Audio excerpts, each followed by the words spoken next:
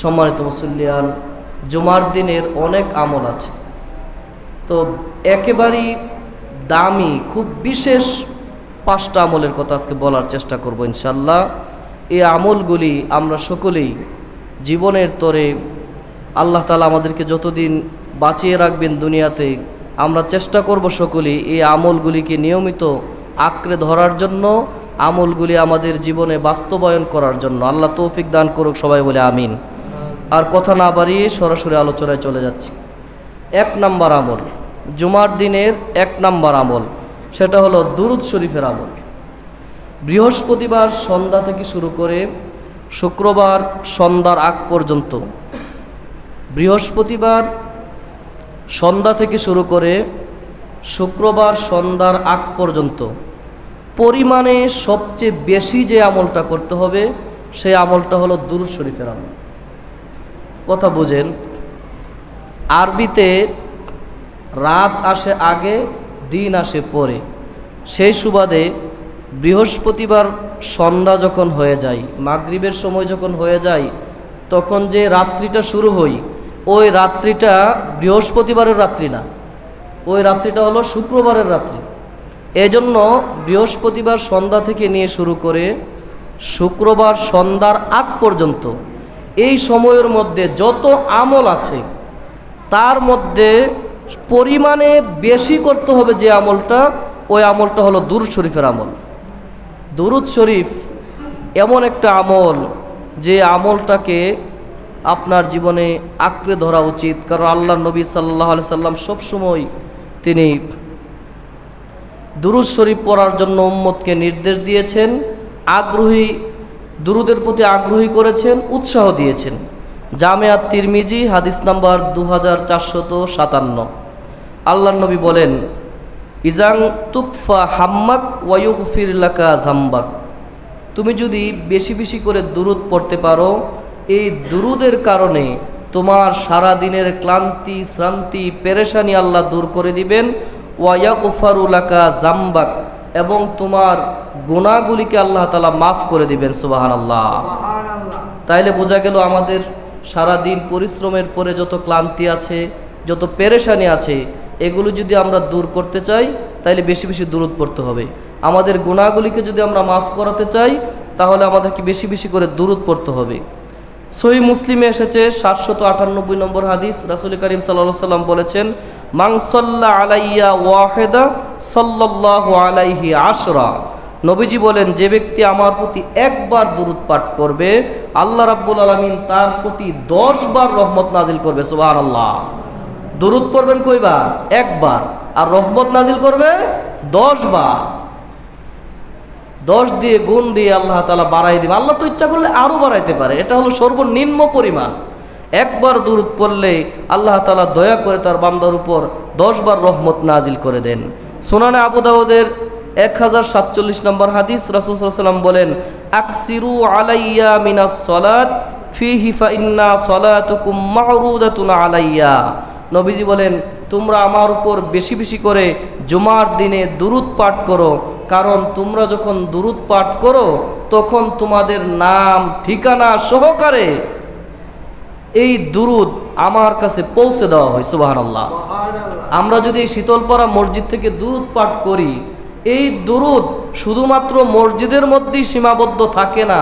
আল্লাহ রাব্বুল আলমিন একদল ফেরেস্তা নিযুক্ত করে রেখেছেন তাম পৃথিবীর যেখানেই কোনো একটা বান্দা, কোনো একটা উম্মত দুরুদ পাঠ করবে, ওই যে পাঠ করল তার নিজের নাম, তার বাবার নাম, তার ঠিকানা, তার চোদ্দ গোষ্ঠী ঠিকানা সহ সম্পূর্ণটা আল্লাহর নবীর সামনে পেশ করে দেওয়া হয় সুবাহান আল্লাহ তো এই এই খেয়াল করে যদি আপনি দূরত পড়েন, যে আমি যে দূরত পড়ছি, এই দূরতটা আমার নবীর সামনে পেশ করা হবে, এই মহব্বত নিয়া এই মহব্বত নিয়া, এই ভালোবাসা নিয়া, এই আবেগ নিয়া যদি দুরুদ শরীফ করতে পারেন, তাহলে আপনার জীবন সফল হয়ে যাবে।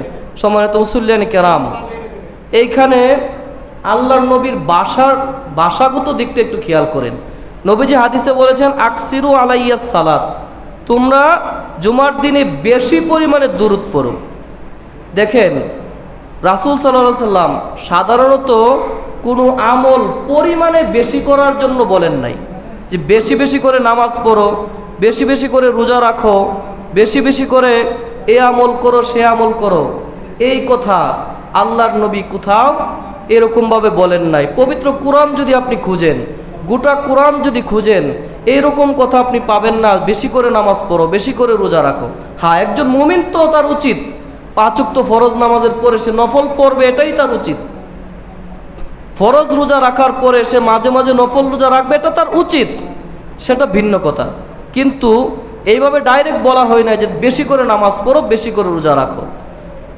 গোটা হাতে গোনা দু একটা আমল আছে যেটার ক্ষেত্রে বলা হয়েছে বেশি করে করো। এর মধ্যে একটা হলো জিকির। আল্লাহ তাআলা বলেছেন, আকসিরু জিকরা বেশি করে জিকির করো। এটা হলো একটা। আরেকটা হলো, বেশি করে দুরুদ করো। নবীজি বলেছেন, বেশি করে দুরুদ পাঠ করো। এই বেশি আমলের ক্ষেত্রে এই দুরুদের কথা আছে যে বেশি করে দুরুদ পাঠ করো সুবাহ আল্লাহ এজন্য বৃহস্পতিবার সন্ধ্যা যখন শুরু হবে, সন্ধ্যা থেকে শুরু করে শুক্রবার সন্ধ্যার আগ পর্যন্ত আমরা বেশি বেশি দুরুদ পাঠ করব। সময়ত মুসুলিয়ান কেরাম, এই ক্ষেত্রে দুরুদ নামাজের মধ্যে আমরা যে দুরুদ পড়ি, দুরুদ ইব্রাহিম, আল্লাহুম্মা সাল্লি আলা মুহাম্মদ ওয়ালা আলি মুহাম্মদ কামা সাল্লাইতা ইব্রাহিম ওয়ালা আলি ইব্রাহিম ইন্নাকা হামিদুম মাজিদ। শেষ পর্যন্ত পড়বেন। এই নামাজের দুরুদ। দুরুদ ইব্রাহিম, এটা হলো সবচেয়ে শ্রেষ্ঠ দুরুদ। এর চাইতে শ্রেষ্ঠ আর কোনো দুরুদ নাই আপনি এই দুরুদটা পড়তে পারেন। এবার আপনি যদি মনে করেন, এত বড় দুরুদ, আমার পড়তে কষ্ট হই তাইলে আপনি সংক্ষিপ্ত দুরুদও পড়তে পারেন। একেবারে সবচেয়ে ছোট, সংক্ষিপ্ত যেই দুরুদটা আছে সেটা হলো সল্লাল্লাহু আলাইহি ওয়াসাল্লাম। সল্লাল্লাহু আলাইহি ওয়াসাল্লাম। এই দুরুদ যদি আপনি পড়েন, তাইলে আল্লাহ তাআলা ওই যে জুমার দিনে বেশি দুরুদ পড়ার সওয়াব আপনার আমল নামে আল্লাহ দিয়ে দিবেন। সুবহানাল্লাহ। আবার তাড়াহুড়া করা যাবে না। সাল্লাহ সাল্লাম সাল্লাহ সাল্লাম সাল্লাহ এভাবে পড়া যাবে না। ধীর স্থিরভাবে তার তিলের সাথে সুন্দর করে পড়বেন। সল্লাল্লাহু আলাইহি ওয়াসাল্লাম, সল্লাল্লাহু আলাইহি ওয়াসাল্লাম। এভাবে দূরত পড়তে হবে। হাদিসে এসেছে, এক সাহাবি রাসুল করিম সাল্লাহ সাল্লামের কাছে আসলো। এসে বলল, হে আল্লাহ রাসুল সাল্লাহ সাল্লাম আমি যখন আল্লাহর কাছে দোয়া করি, আমি আমার জন্য চাই। আমি আমার সন্তানের জন্য চাই, আমি আমার মা বাবার জন্য চাই, আমি আমার ব্যবসার উন্নতির জন্য চাই, আমি আমার রিজিকের কথা আল্লাহর কাছে বলি, আমি চাই, এত কিছু বলি, কিন্তু আপনি তো আল্লাহর রাসুল। আপনার প্রতি দূরত পড়লে তো আমাদেরই লাভ। এখন আপনি একটু আমাকে বলেন, আমি যখন দোয়া করব, এই দোয়ার মধ্যে কত পার্সেন্ট আপনার জন্য রাখব? মানে আমি তো আমার ছেলের জন্য, মেয়ের জন্য, ব্যবসার জন্য আমি চাই, এর মধ্যে কতটুকু অংশ আপনার জন্য দোয়া করব। তখন নবীজি তাকে বললেন, তুমি কতটুকু পড়ো এতটুকু? নবীজি বলে আরেকটু বাড়াইলে তোমার জন্য ভালো হবে। তো সাহাবি যতই বলে, নবীজি বারবারই বলে, আরেকটু বাড়াইলে ভালো হবে। এবার সাহাবি বলতেছে, ইয়া ধরেন যদি বিষয়টা এমন হই, আমি দোয়া করলাম, আমার নিজের জন্য চাইলাম না, ছেলে মেয়ের জন্য চাইলাম না, কারও জন্য চাইলাম না। First to last A to Z শুধুমাত্র আপনি নবীর জন্য আমি দূরত পড়লাম, নবীর জন্য দোয়া করলাম, আপনার জন্য আমি দোয়া করলাম। তখন আপনি কি বলবেন? তখনই নবীজি বলেছেন, ইজান তুকফা হাম্মাক ওয়াগফিরুল্লাকা জাম্বাক শুনো সাহাবি, তুমি যদি এমনটা করতেই পারো, আল্লাহ তোমার সব পেরেশানি দূর করে দিবেন এবং তোমার জীবনের সব গুণা মাফ করে দিবেন। সুবাহান আল্লাহ সুবাহান আল্লাহ সুবহানাল্লাহ সুবহানাল্লাহ। এই দুরুদের আমল, দুরুদের সওয়াব এতটুকু। দুরুদ শরীফের আমলটা এত সুন্দর আমল, এত সুন্দর আমল আর সহজ আমল যে আপনি এটা পড়ার জন্য যে উজু করে পড়তে হবে এমন না। আপনার শরীর পাক থাকলে আপনি এমনিতেই পড়তে পারেন। আপনি বড় দুরুদ পড়তে পারেন না, ছোট দুরুদ আপনি পড়তে পারেন। পড়লেই আল্লাহ তালা আপনাকে ওই দুরুদের সম্পূর্ণ সাওয়াব আল্লাহ তালা আপনাকে দিয়ে দিবেন। আর অর্থ বুঝে পড়ার চেষ্টা করবেন। যেমন আল্লাহ হোম্মা সাল্লি আলা মুহাম্মদ, এর অর্থ কি? আল্লাহ হোম্মা সাল্লি আলা মুহাম্মদ, এর অর্থ হলো, হে আল্লাহ, তুমি মুহাম্মদ সাল্লাহ সাল্লামের উপরে রহমত বর্ষণ করো। দোয়া করছে কিন্তু নবীর জন্য। হে আল্লাহ, তুমি মোহাম্মদ সাল্লাহ সাল্লামের প্রতি রহমত বর্ষণ করো। আরে ভাই, আমরা যদি মোহাম্মদ সাল্লাহ সাল্লামের জন্য দোয়া নাও করি, আল্লাহ তার হাবিবের প্রতি এমনি রহমত বর্ষণ করবেন আমরা যদি কোনোদিনও দোয়া না করি, আল্লাহ তার নবীর প্রতি এমনিতেই রহমত বর্ষণ করবেন। কারণ আরশে আজিমের মালিক রহমাতুল্লিল আলমিনকে এত ভালোবাসেন মুহাম্মদ সাল্লাহ সাল্লামকে এত ভালোবাসেন, তিনি তার হাবিবের প্রতি এমনিতেই রহমত নাজিল করবেন। তাকে বিভিন্ন মর্যাদা আগে থেকেই তিনি ঘোষণা করে রেখেছেন। আগে থেকেই তাকে জান্নাতের সার্টিফিকেট আল্লাহ তালা দিয়ে রেখেছেন। শুধু জান্নাতের সার্টিফিকেট না, তার সব মর্যাদা আল্লাহ আগেই নির্ধারণ করে রেখেছেন। আপনি আমি এই দূরত পড়লে নবীর কোনো লাভ নাই। তবে, কিন্তু আমি, আপনি যদি আল্লাহর কাছে আল্লাহর নবীর জন্য দোয়া করি, তাহলে আল্লাহ তালা এর মাধ্যমে আপনার আমার ভাগ্যকে সুপ্রসন্ন করে দিবেন। আমার আপনার ভাগ্যকে সুপ্রসন্ন করে দিবেন। ব্যাপারটা এমন না যে আমি দোয়া করলে নবীর প্রতি আল্লাহ রহমত নাজিল করবে, না। আপনি মনে করেন একজন অফিসারের একজন কর্মকর্তার অধীনে আছেন, আপনি তার কাছে বিভিন্ন প্রয়োজনে যেতে হই। এখন কোনো একদিন আপনি তার অফিসারের ছেলেকে দেখলেন, সে একটু শুকিয়ে যাচ্ছে, খাবার ঠিক মতো খায় না। আপনি বললেন, স্যার, ছেলেটা তো একটু শুকিয়ে যাচ্ছে। হারে বাবুটা তাকে একটু চিকিৎসা করান, স্যার। তাকে দেখলে একটু মায়া লাগে। আপনি যদি বলেন, তাইলেও তার ছেলের প্রতি কেয়ার করবে, না বললেও তার প্রতি কেয়ার করবে। কিন্তু ফাঁকে দিয়ে আপনি একটু তার সিম্পিতি পাবেন না।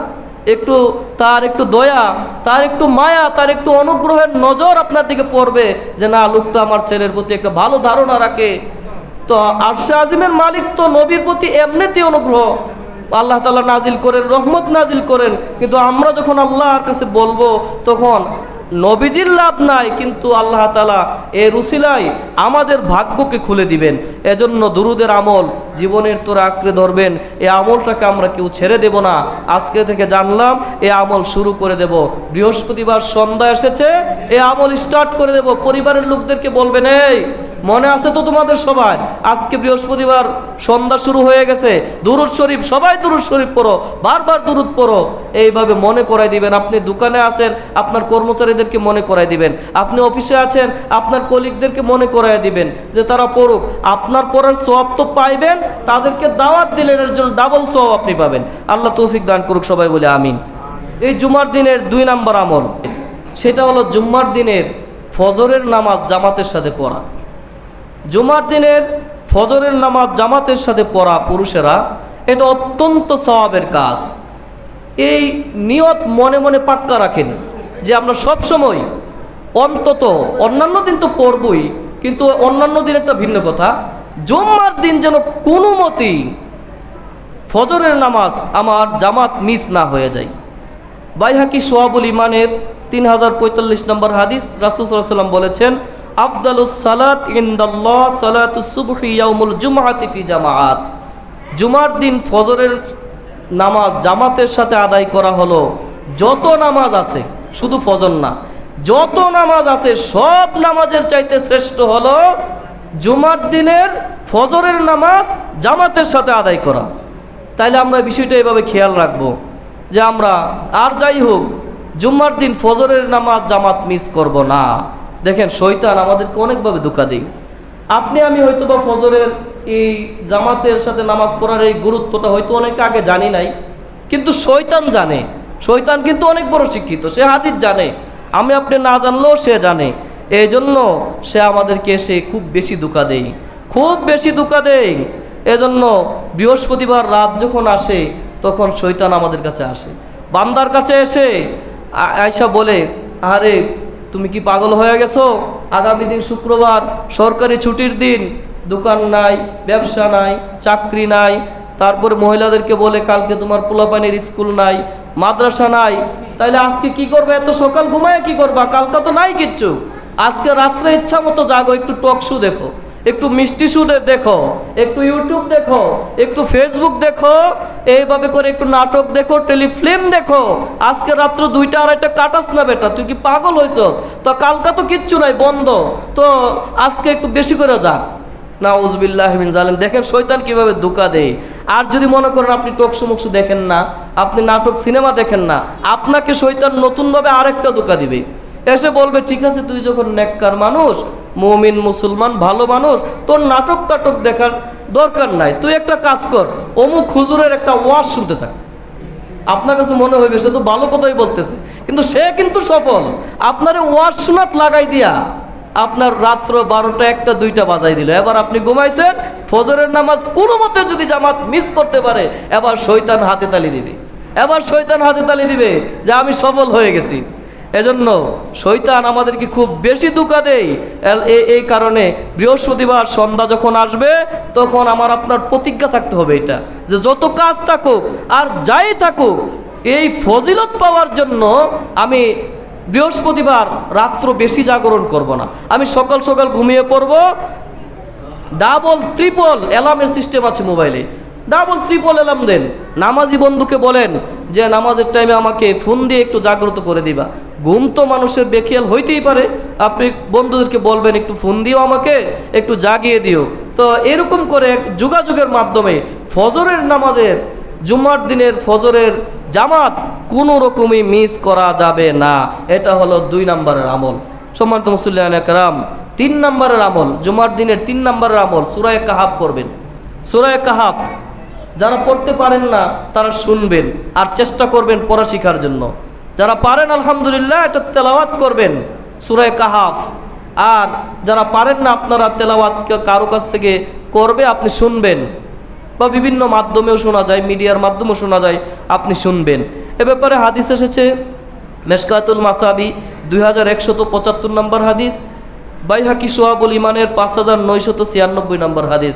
আল্লাহ নবী বলেছেন, মান কারা সুরাতুল কাহাব ফি ইয়াউমিল জুমা আদা আলাহু নূর মা বাইনাল জুমাতাইন যে ব্যক্তি জুমার দিনে সুরায়ে কাহাব তেলাওয়াত করবে, এই সূরাটি তার জন্য পরবর্তী জমা পর্যন্ত, এমনকি কেয়ামত দিবসে মাইদানে মাহসারে তার জন্য এটা নূর হয়ে যাবে সুবাহ আল্লাহ সম্মানিত মুসল্লিয়ান, কিয়ামতের দিনের যত শাস্তি আছে এর মধ্যে একটা ভয়াবহ শাস্তি হলো, কেয়ামতের মাঠে এক সময় ঘুর অন্ধকার হয়ে যাবে। একেবারেই ঘুটঘুটে অন্ধকার, যখন কিচ্ছু দেখা যাবে না। ওই কঠিন মুহূর্তে যারা নাকি সুরায়ে কাহাফের আমল করেছে, ওই সময় তার ওই কাহাফের নূরের কারণে ওই সময় সে আলোকিতভাবে, আলো থাকলে যে এরকম, তার কাছে এরকম মনে হবে। কিন্তু আসলে ওই সময়টা থাকবে গুটগুটে অন্ধকার। আল্লাহ সুরা কাহাফের কারণে তাকে নূর দান করবেন, তাকে আলো দান করবেন।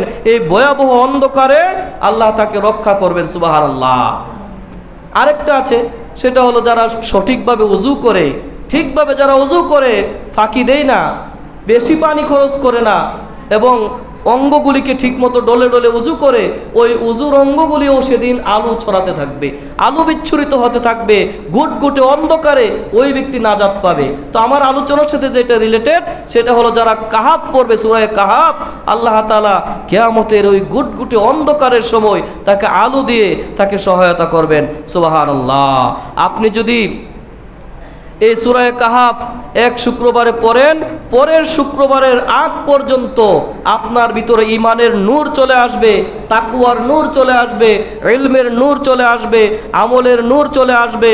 ভালো মানুষ হওয়ার জন্য আল্লাহ তালা আপনাকে আপনার ভিতরে নূর দিয়ে দিবেন সুবাহান আল্লাহ সহি মুসলিমের এক হাজার সাতশত আটষট্টি নম্বর হাদিস আল্লাহ নবী বলেছেন, মান হাফিজা আশার আয়াতিন মিন আউ্বালি সুরাতুল কাহাফ আসিমা মিন ফিতনাতিদ দাজ্জাল। যে ব্যক্তি সূরায়ে কাহাফের প্রথম দশটা আয়াত মুখস্থ করবে অন্তত। পুরাটা মুস্তক মুখস্থ করতে বললে তো আলহামদুলিল্লাহ, কিন্তু অন্তত প্রথম দশটা আয়াত যে নাকি মুখস্থ করবে, আল্লাহ তাআলা তাকে দাজ্জালের অনিষ্ট থেকে, দাজ্জালের ফিতনা থেকে রক্ষা করবেন। সোহান আল্লাহ যে দাজ্জালের ফেতনা সম্পর্কে সব নবী সতর্ক করে গেছেন, সাবধান করে গেছেন উম্মতদেরকে যে দাজ্জাল আসবে, যার হাতে আল্লাহ সব ক্ষমতা দিয়ে দিবেন, সে আপনার চোখের সামনে জান্নাত বানায়া দেখাবে, জাহান্নাম বানায়া দেখাবে, আপনি যা বলবেন তাই করে দেখাবেন, মানুষগুলি দিশেহারা হয়ে যাবে ইমান হারিয়ে ফেলবে, দাজ্জালকে আল্লাহ মানা শুরু করে দেবে। নাউজবিল্লাহ, ওই কঠিন মুহূর্তে যারা সুরা কাহাফের প্রথম দশটা আয়াত মুখস্থ করবে এবং নিয়মিত তেলাওয়াত করবে, আল্লাহ তাআলা তাকে ওই কঠিন মুহূর্তে তাকে হিফাজত করবেন, দাজ্জালের ফেতনা থেকে রক্ষা করবেন। সুবাহান আল্লাহ সুবাহান আল্লাহ সহি বুখারির তেরোশত সাতাত্তর সাতাত্তর নম্বর হাদিস আল্লাহ নবী সাল্লাম নিয়মিতভাবে নামাজের মধ্যে শেষ বৈঠকে এই দোয়ে মাসুরার জায়গায় আল্লাহ নবী পড়তেন আল্লাহ ইন্নি বিকা মিন আযাবি জাহান্নাম। ওয়া মিন আযাবিল কবর, ওয়া মিন ফিতনাতিল মাহইয়া ওয়া মাহইয়া ওয়াল মামাত, ওয়া মিন শাররি ফিতনাতিল মাসিহিদ দাজ্জাল। আল্লাহ, তুমি আমাকে জাহান্নামের আযাব থেকে রক্ষা করো এবং কবরের আযাব থেকে রক্ষা করো এবং আরও দোয়া করতেন, মাসিহিদ দাজ্জাল, ফেতনায়ে দাজ্জাল, দাজ্জালের ফেতনা থেকে আমাকে রক্ষা করো। আল্লাহর নবী নামাজের মধ্যে দোয়ে মাসুরার জায়গায় এই দোয়া পাঠ করতেন, আল্লাহর কাছে আশ্রয় চাইতেন।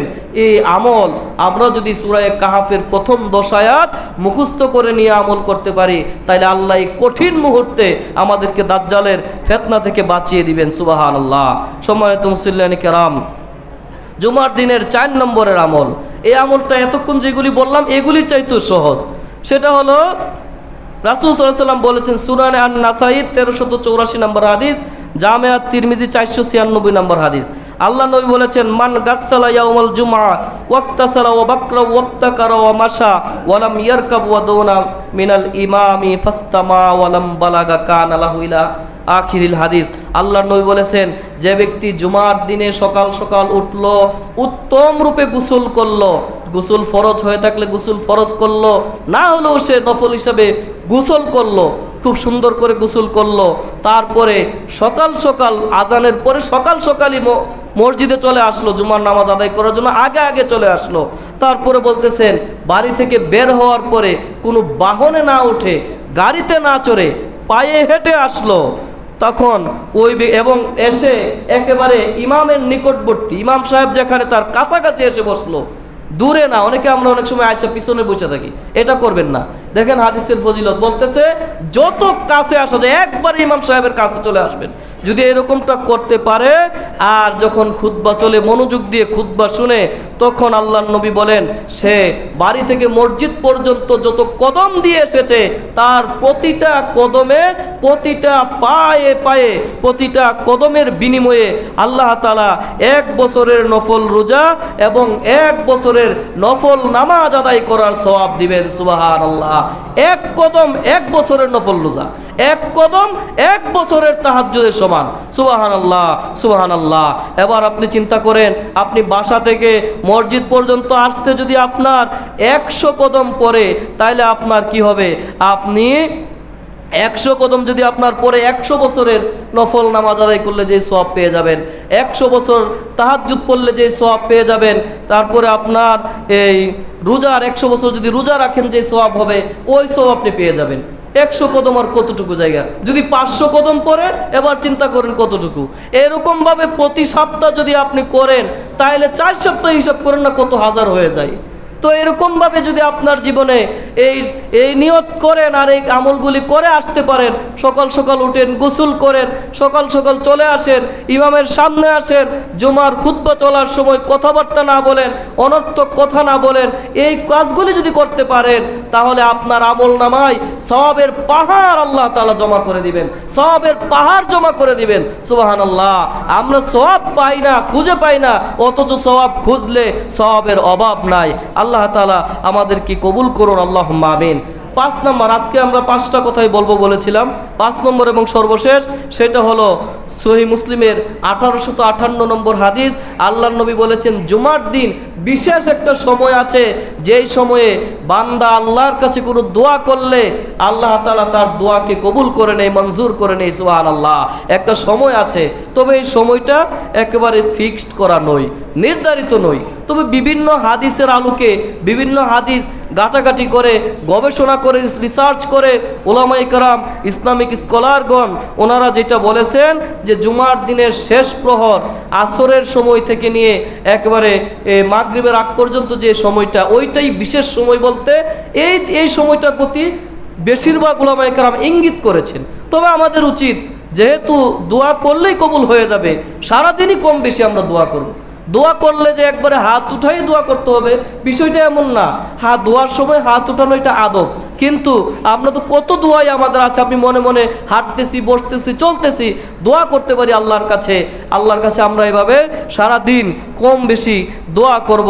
রাসুল সাল্লাম বলেছেন, তোমার যদি এই জুতার ফিতাও ছিঁড়ে যায়, তুমি হাঁটতেছো, তোমার জুতার ফিতাও ছিঁড়ে গেছে, এইটাও তুমি আল্লাহর কাছে সাহায্য চাইবা যে আল্লাহ, আমার জুতাটা, জুতার ফিতাটা ছিঁড়ে গেছে। তুমি আমাকে সাহায্য করো। কেননা এটা ছোট বিপদ, কিন্তু ছোট বিপদ থেকেই অনেক সময় অনেক বড় বিপদ হয়ে যায়। এজন্য আল্লাহর কাছে আশ্রয় চাইবেন আল্লাহ, আমার জুতার ফিতাটা ছিঁড়ে গেছে মানে এটাও তো আমার জন্য একটা বিপদ। তুমি আমাকে সাহায্য করো, আমাকে উদ্ধার করো। তাইলে ছোট একটা জিনিস নিয়েও যদি আল্লাহর কাছে দোয়া করতে হয়, আমরা তো কত জিনিসের অভাবী। আমরা আল্লাহর কাছে সারা দিন প্রতিনিয়তই কম বেশ আল্লাহর কাছে দোয়া করতেই থাকব। আল্লাহ কবুল করুন সবাই পরে আমিন। এবার এই যে পাঁচটা আমলের কথা বললাম, আমি পাঁচটা আমলের নাম আবার বলে দিচ্ছি। এক নম্বরে বেশি বেশি করে দূরত পড়বেন। দুই নাম্বার ফজরের নামাজ জামাতের সাথে আদায় করবেন। তিন নাম্বার এই সুরায় কাহাফ সুরায় কাহাফ তেলাওয়াত করবেন। পারলে প্রথম দশ আয়াত মুখস্থ করে তেলাওয়াত করবেন। তারপরে উত্তম রূপে উজু করে সকাল সকাল উঠে গোসল করে পায়ে হেঁটে মসজিদে এসে ইমামের কাছাকাছি বসে মনোযোগ দিয়ে খুতবা শ্রবণ করবেন। আর পাঁচ নম্বরে হলো বেশি বেশি আল্লাহর কাছে দোয়া করবেন। এই পাঁচটা আমল আমরা কখনো ছেড়ে দেব না। আল্লাহ আমাদের সবাইকে এই পাঁচটা আমলের প্রতি আমলের প্রতি আগ্রহী হয়ে এটা আমাদের জীবনে বাস্তবায়ন করার তৌফিক দান করুক। সবাই বলে আল্লাহ আমিন। আল্লাহ আমিন। ওয়াখের